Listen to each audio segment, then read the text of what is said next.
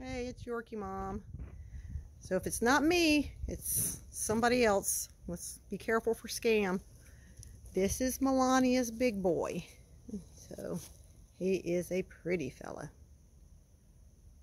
He's charted to be about seven pounds. I don't know if he's really going to get that big because Bubbles was too.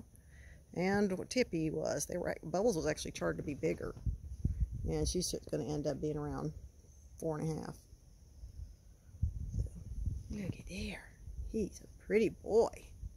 Yes, you are. Yes, you are beautiful. He's very sweet. Nice thick coat. Yes. See? Sweet, sweet boy. See how much blacker he's turning? The gold's going away. Going away. See, he's just barely got them little points on his eyes. And those probably will be gone. So, he's a beautiful thing. Dual registration, AKC, CKC. Yes.